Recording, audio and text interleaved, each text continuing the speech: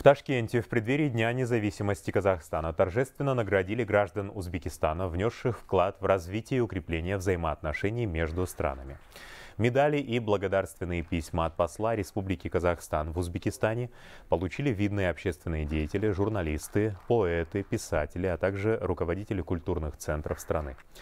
Дархан Сатыбалды также рассказал о достижениях Казахстана за годы независимости. Он отметил, что сотрудничество между Казахстаном и Узбекистаном за последние четыре года стали а, еще крепче. Страны развивают отношения в торгово-экономической, культурной, гуманитарной и туристической сферах.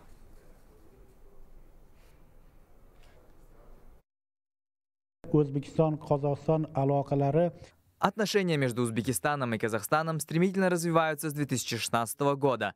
Благодаря дружбе между главами двух государств наши братские народы достигли согласия во всех сферах. Теперь обе страны намерены увеличить товарооборот до 10 миллиардов долларов. Масштабная патриотическая акция в честь Дня независимости страны прошла среди школьников в Павлодаре. А, там почти 20 тысяч детей нарисовали государственный флаг Казахстана и выставили свои рисунки на окнах. По словам учителей и родителей, подобные мероприятия укрепляют дух патриотизма и воспитывают любовь к родине. К слову, акция «Ту Менн Отаном» в Павлодаре продлится до 18 декабря. Организаторы надеются, что школьную инициативу поддержат и взрослые. Мы, родители, активно участие принимаем в этой акции всей семьей.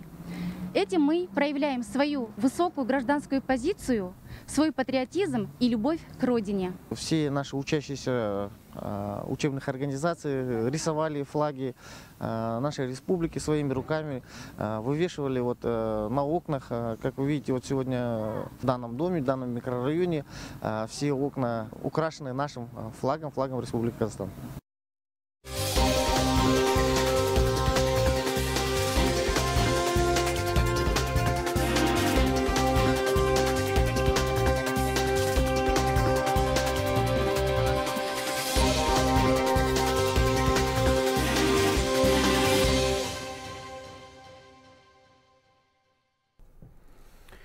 Торговые центры столицы будут работать все праздничные дни до 6 вечера, кроме воскресенья. Об этом рассказали представители Минздрава. Но если вы все-таки захотели выйти из дома, не забывайте об обязательном ношении маски и дезинфекции рук. На брифинге специалисты дали казахстанцам советы, как провести выходные дни без риска заразиться коронавирусом. Прежде всего, населению советуют не посещать места массового скопления людей, не допускать переохлаждения организма, для поздравлений использовать дистанционные средства связи. Еще раз, вот семь шагов по предотвращению заражения COVID-19. Тщательно мойте руки с мылом после контакта с посторонними людьми. Используйте одноразовую медицинскую маску в общественных местах и меняйте ее каждые 2-3 часа. Дезинфицируйте гаджеты, оргтехнику и использованные поверхности. Избегайте посещения общественных мест, торгово-развлекательных центров, э, спортивных мероприятий, общественного транспорта. Ограничьте объятия, рукопожатия. Избегайте тесного контакта с людьми, у которых может быть простуда. Используйте индивидуальные предметы личной гигиены и посуду. О ситуации с коронавирусом в Казахстане. 661 новый случай заболевания ковид отмечен за минувшие сутки в нашей стране. Больше всего инфицированных в Алматы. Там заболели 74 человека. Следом в списке идут Павлодарской, Северо-Казахстанской области. Минимальный прирост отмечен в Актюбинской, Туркестанской, Козлординской, Мангостауской областях в Шимкенте также. И таким образом с начала эпидемии в стране подтвердили почти 143 тысячи случаев заражения опасным вирусом. Межведомственная комиссия по нераспространению коронавируса обнародовала статистику по выздоровевшим. Еще 914 человек смогли побороть инфекцию. В общем, от ковид излечились более 127 тысяч больных.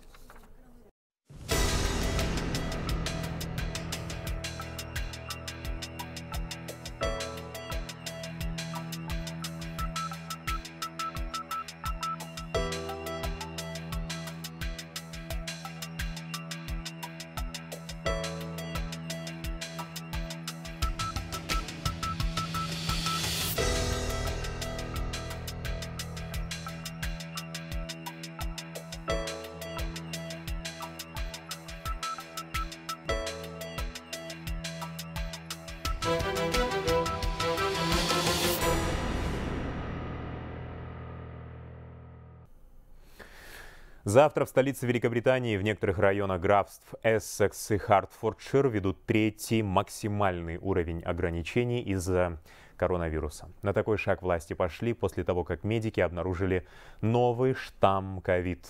Об этом подробно в нашем сюжете. Юго-восточная Англия столкнулась с новым штаммом коронавируса. Мутировавшую инфекцию выявили в больницах 60 британских районов. Эксперты заявляют, он распространяется быстрее, чем другие виды ковид. Но говорить о том, что у заразившихся этим вариантом коронавируса болезнь протекает тяжелее, пока рано. Инфекцию сейчас изучают в военной лаборатории Портон-Даун. Известно, что в последние месяцы подобные случаи зарегистрированы и в других странах. Мы проинформировали об этом Всемирную организацию здравоохранения. На фоне этих событий власти Великобритании ввели новые ограничения. В столице и некоторых районах графств Эссекс и Хартфордшир закроют пабы, рестораны, театры и другие места отдыха. Жителям не рекомендуется выезжать в другие города и пользоваться общественным транспортом. А на улице разрешено собираться в группы не больше шести человек. Новые меры затронут 34 миллиона британцев, а это больше половины населения. Мнения жителей по поводу введенного карантина разделились. Думаю, что новые меры желательны. На улицах много людей, поэтому я думаю, что сейчас будет правильно ввести новые ограничения. Я не думаю, что это правильно. В Лондоне много свободных больниц. В отличие от апреля, там не так много пациентов с ковид. Я считаю, нам нужно дождаться Рождества. Жесткие ограничения в основном коснутся бизнес-сектора. Только в Лондоне придется закрыться больше 15 тысячам развлекательных заведений. А это лишит предпринимателей заработка, который обычно растет в Рождество и на Новый год. Зауреш Байгелова, Галамжат Хараманула, Лондон, Хабар 24. Некоторые европейские страны ужесточили ограничения в связи с приближающимися рождественскими и новогодними праздниками. Например, власти Греции продлили действие карантина до 7 января. Во время этого периода в стране будет действовать комендантский час, школы и заведения общепита будут закрыты. Во Франции общенациональный комендантский час отменят в канун Рождества, но а, бары, рестораны, горнолыжные курорты будут закрыты как минимум до 20 января. Продлили карантины в Нидерландах, при этом каждая семья может принимать у себя не более трех гостей в день. Заведения общепита также не будут работать. А тем временем французские рестораторы, организаторы торжеств, сотрудники отелей и туристической сферы вышли на улицы, чтобы потребовать от властей возможности работать. В стране действует ряд ограничений, в соответствии с которыми закрыты кафе, рестораны, отели, учреждения культуры и развлечений.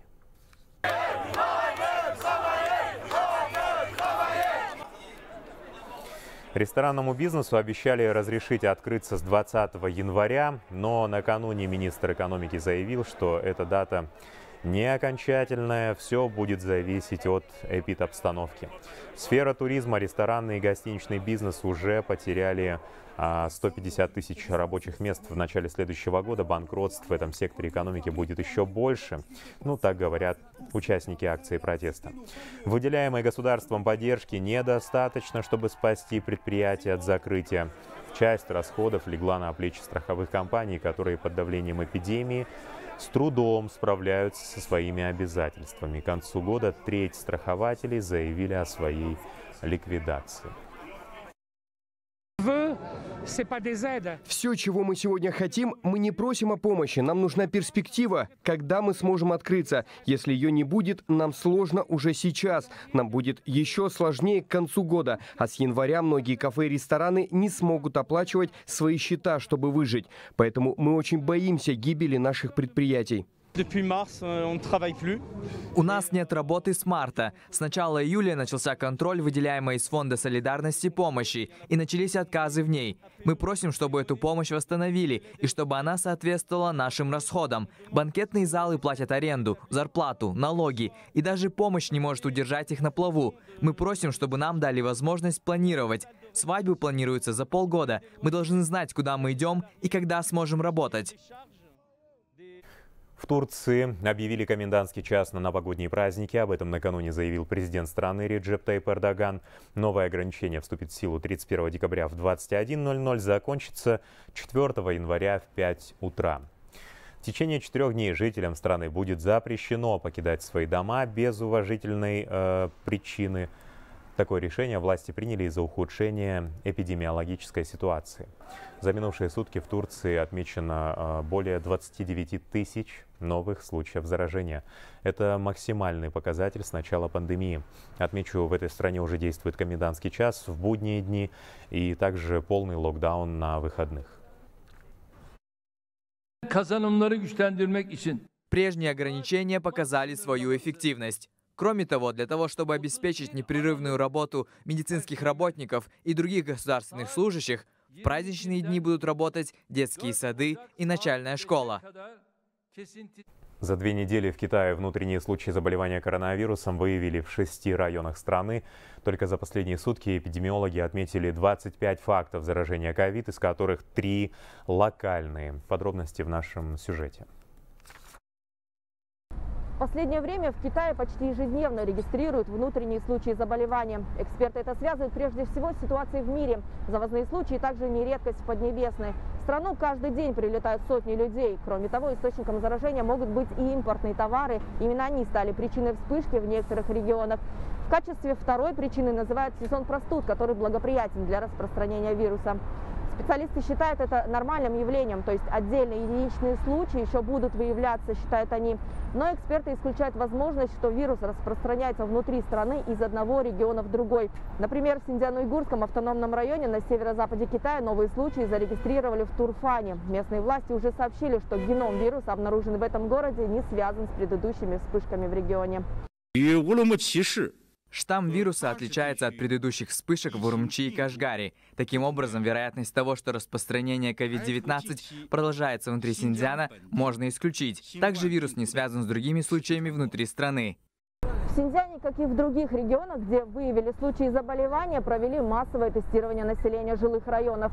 Иногда, как это было во внутренней Монголии, тестирование проводят трижды, чтобы исключить любую вероятность крупной вспышки. По данным местных властей, на сегодняшний день 6 вакцин кандидатов китайского производства находятся на третьей фазе клинических испытаний. Наибольшие результаты достигли по инактивированным вакцинам. К примеру, компания Sinopharm она уже начала в тренировочном формате распространять свои вакцины внутри страны. Это подразумевает правильное хранение и транспортировку при низких температурах. В целом же вакцины этой компании уже одобрили а, в Бахрейне и Объединенных Арабских Эмиратах. Китайскую вакцину также приобретают Индонезия, Турция, Бразилия и Мексика. До конца года в Поднебесной могут произвести до 600 миллионов доз вакцин.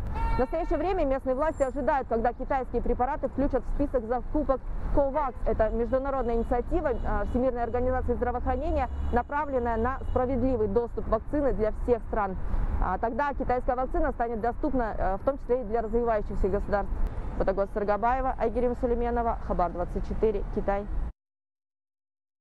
В Сингапуре одобрили использование вакцины против коронавируса компаний Pfizer и BioNTech. Первые партии препарата поступят уже в конце месяца, сообщил премьер-министр. Он отметил, что вакцинация пройдет на добровольной основе и будет э, бесплатной для всех жителей Сингапура. На начальном этапе прививки получат медработники и э, пожилые люди. Кроме того, власти подписали э, соглашение предварительное о закупах с другими разработчиками вакцины. Мы также ожидаем, что другие вакцины будут поставлены в Сингапур в грядущие месяцы. Если все пойдет по плану, к третьему кварталу 2021 года у нас будет достаточно вакцин для всех жителей Сингапура. Канаде тем временем началась массовая вакцинация населения против коронавируса. Одними из первых прививку сделали медработники города Торонто. Кроме того, вакцину уже начали получать пожилые канадцы по всей стране. Отмечу, до Нового года в Канаду доставят четверть миллиона доз препарата. К марту 2021 власти планируют вакцинировать 3 миллиона граждан. Все желающие получат прививку до конца следующего года.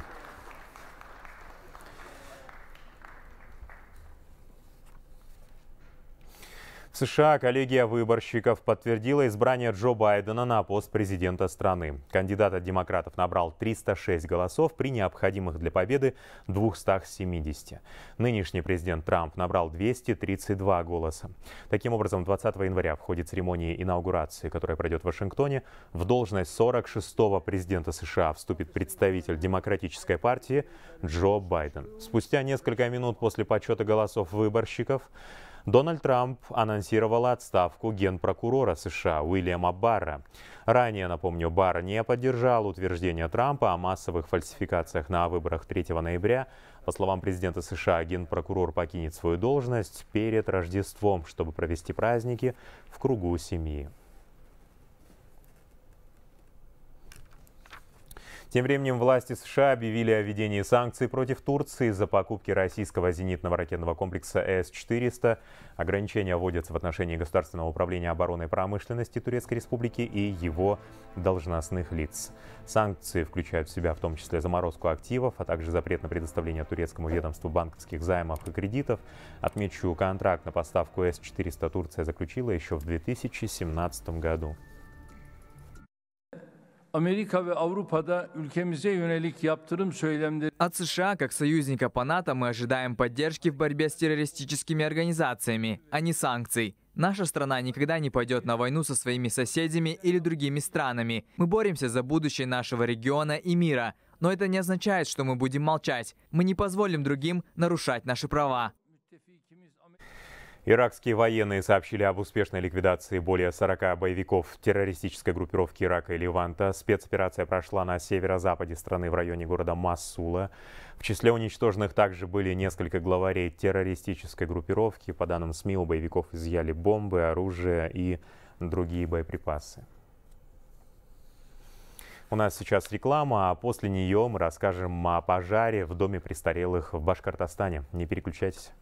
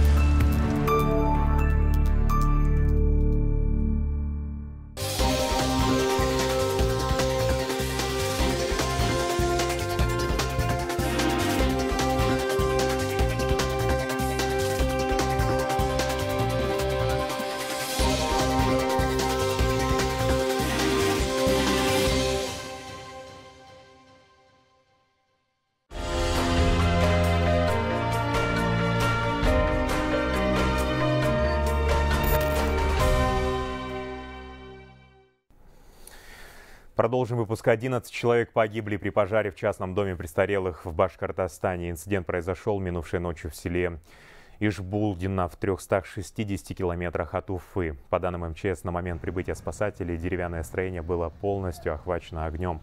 В ходе тушения на месте пожара обнаружены тела 11 погибших. Четыре человека смогли самостоятельно э, выбраться из здания. Сейчас на месте происшествия работает следственная группа. Обстоятельства выясняются. В столице Таиланда, Бангкоке, зарегистрировали сильное загрязнение воздуха, сообщают местные СМИ. В 28 районах города индекс качества воздуха превышает допустимую норму. Специалисты предупреждают, такое может нанести серьезный вред здоровью и людям советуют, э, особенно тем, которые страдают респираторными заболеваниями, на улицу не выходить. По данным Министерства природных ресурсов охраны окружающей среды, а, густой смог из-за отсутствия ветра может продержаться как минимум до 17 декабря.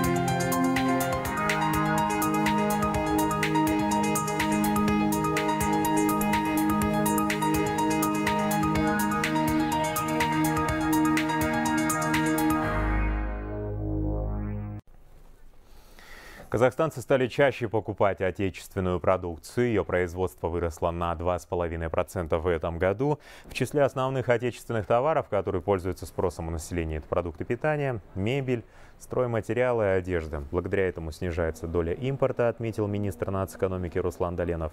По его словам, за последние три года наблюдается существенный рост выпуска готовой и обработанной продукции. Только в прошлом году их объем увеличился до 10 триллионов тенге в так называемом сегменте экономики простых вещей. С начала года индекс физического объема составил 104%. Фонд АМУ просубсидировал более 500 проектов по программе «Экономика простых вещей». К слову, в этом году выросли объемы финансовой поддержки по всем программам кредитования, отметил министр нацэкономики. А сумма поддержанного кредитного портфеля достигла 2 триллионов тенге, охватила более 30 тысяч проектов. И чтобы усовершенствовать программу «Экономика простых вещей», будет разработан седьмой пакет поправок. Он будет предусматривать новые механизмы поддержки, в том числе увеличение размера гарантий со стороны государства. И эти изменения нужно подготовить в месячный срок, отметил премьер-министр Аскар Мамин.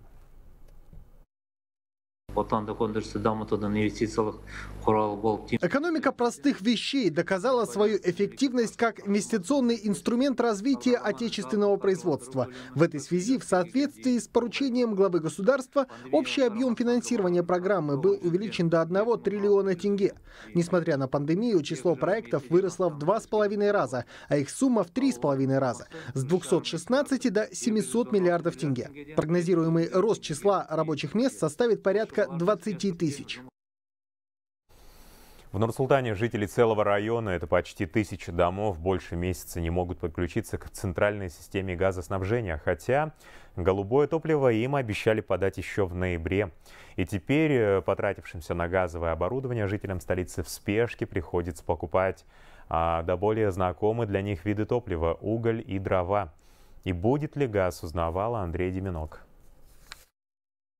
В основном трубопровод провели, Трансгаз Аймак, э, до дому. Подрядная организация подключила в дом. Это вы уже за свои деньги делали? На этом, собственно говоря, газификация, которую в столице ждали так много лет, для жителей жилого массива Коктал-2 и закончилась, что называется, не успев начаться. Нам обещали подключиться вот в ноябре, э, в начале ноября, потом конец ноября, уже декабрь. И до сих пор нет никаких э, э, предпосылок, что подключат или что. Хотя горожане с уверенностью заявляют, свою часть обязательства не выполнили в полном объеме еще в конце сентября. И обошлись они им в среднем в 700 тысяч тенге. В эту сумму входило получение тех условий, покупка и установка газового оборудования, а также услуги подрядной организации. К слову, подрядчики в затянувшихся сроках газификации виновными себя не считают. Как думаете, почему сейчас вот газа нет до сих пор у людей? И тоже не могу сказать, честно. А ну, кто, кто это может знать? Ну, это все зависит, э, который подрядная организация, наверное, я туда не ну, знаю. Ну, вы, вы же подрядная организация. Ну, подрядная организация у нас чисто вот дом делаем, ага. а магистраль мы не отвечаем. К счастью, ответить смогли в городском акимате. Но как? Там, как выясняется, причин для беспокойства и вовсе не видят, заявляя, что газификация столицы, наоборот, идет с опережением графика. А у жителей жилого массива Коктал-2 газ появится как раз со дня на день. Все работы завершены. В настоящее время э, сети передаются на, э, в доверительное управление акционерного общества «Казтрансгазаймах». Это является национальным оператором газоснабжения. В течение одной недели планируется обеспечить подачу газа в указанный жилой массив. Также до конца текущего года у нас газ будет подан, обеспечена подача газа на э, часть «Коктал-1». Вторая часть у нас запланирована на январь. Впрочем, горожанам заявления сотрудников Акимата надежд не вселяют. Они признаются, слишком много их было в последние месяцы. В Акимате же говорят, что уже все, газификация. Я не знаю, что говорят в Акимате, но хорошо, что мы уголь купили осенью по 12 тысяч тонн. Сейчас еще будем покупать. Андрей Деминок, Режан Архманбердиев, Хабар, 24.